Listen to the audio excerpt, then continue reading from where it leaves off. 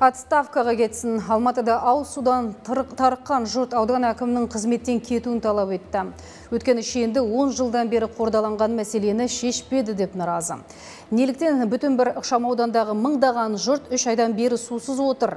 Тіршілік нәрін қыруар қаржыға сатып алып шаршаған халықтың қандай арманы бар. Бостандық ауданы әкімі тұрғындарға қандай уәде берді. Тараптарды тыңдап қайтқан тілшіміз Жадыра Омаржан жалғастырсын. Вы подадите в отставку? Не планирую. Не планируете, вы э, собираетесь остаться? А скажите, вы э, считаете, что вы справляетесь со своими обязанностями? Ну, Акима района. Мне самому оценивать свою работу будет сложно. Бүгін үш айдан бері ауызсыз отырған мыңдаған тұрғын Бостандық аудан әкіміне сұрақты осылай төтесінен қойды. Олар жұмысын жөнді атқармайтын басшының керегі жоқ дейді. Өйткені Ерменсайда бұл мәселенің шешілмей келе жатқанына 10 жылдан асқан. Осыған дейін тұрғындарға жекеменшік компания қызмет көрсетіпті.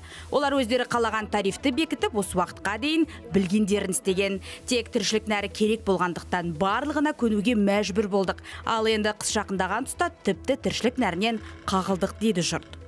Теперь мы, значит, сходим э, в Акимат, на встречи, всегда поднимаем эти вопросы, но они не решаются только обещаниями. И вот сегодня мы тоже слышим обещания. Казалось бы, в нашем понятии, что власть это должна решить. Она должна привлечь э, этого услугодателя к ответственности и все спросить с него по закону. Но почему-то, э, значит, услугодатель избегает это, этой всей э, ответственности. Халық қазір суды сатып алуға мәжбүр. Мәселен, бір отбасы ас әзірлеп жуынуға және басқа да қажеттіліктер үшін апта сайын кемінде 35 мың теңге жұмсайды екен. Қыруар қаржыға тіршілік нәрін алып, қалтамыз әбден жұқарды деп наразы жұрт. Люди покупают воду. Там уже люди, по-моему, скоро бедствовать начнут от таких цен на воду. То есть у нас город продает воду. Люди спекулируют на воде. Вот такая ситуация у нас по сей день. Поэтому просим вмешаться в это дело власти. Ал су беретін жекеменшік компания халық қарыз болғандықтан қызмет көрсетуін тоқтатты деп отыр аудан әкімдігі.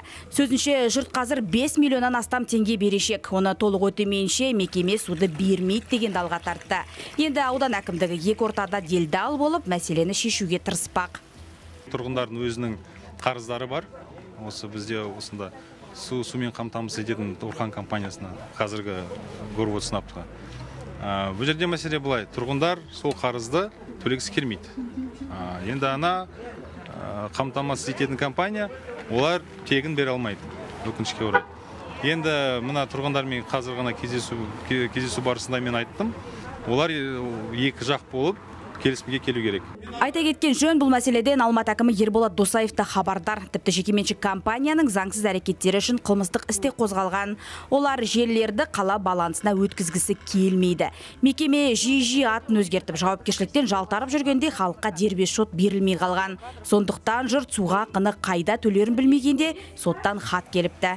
Түймел қарызды төлеуден қашпайды тек мәселе түбегейлі шешілсе деген тілектері бар. Жадыра омаржан жасан өмірзақов атамекен business.